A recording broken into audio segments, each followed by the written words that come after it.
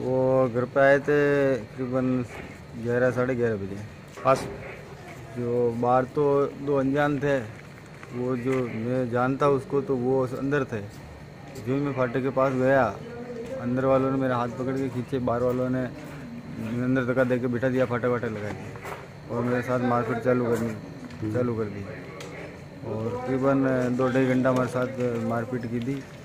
और न जाने सिख से जंगल में सिख से रोडा पे ले गया गया और लास्ट स्टेप जब मैंने जातला माता पांडुली दिला पुड़ा का ऊपरों सीधे मैंने इंगरार स्टेशन अपने हाईवे पे छोड़कर नागन भराई गया तीन बजे ग्यारह साढ़े ग्यारह बजे। ग्यारह साढ़े ग्यारह बजे वो गाड़ी में डाल के ले गए आपको हाँ।